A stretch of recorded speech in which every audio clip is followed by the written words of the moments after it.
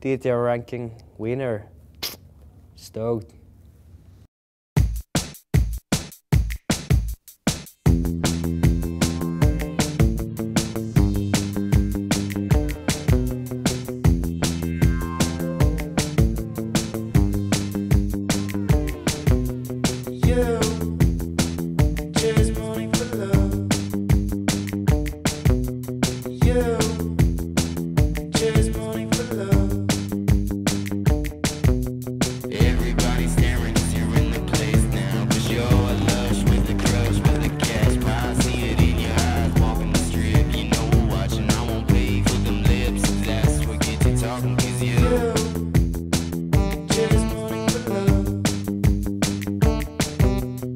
So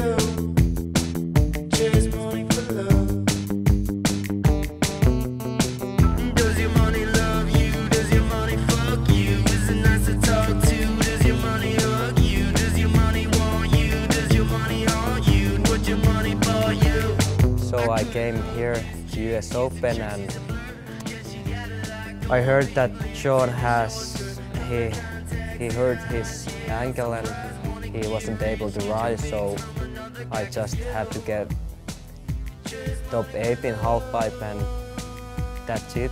I got second and I won the TTR ranking. Right now, we are going to bring up your 2008-2009 TTR World Tour Champion, taking home $50,000.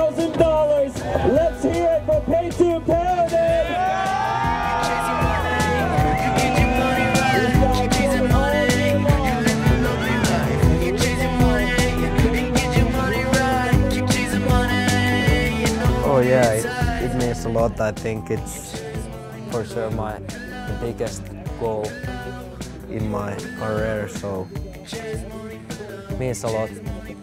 What can I say? It's just amazing.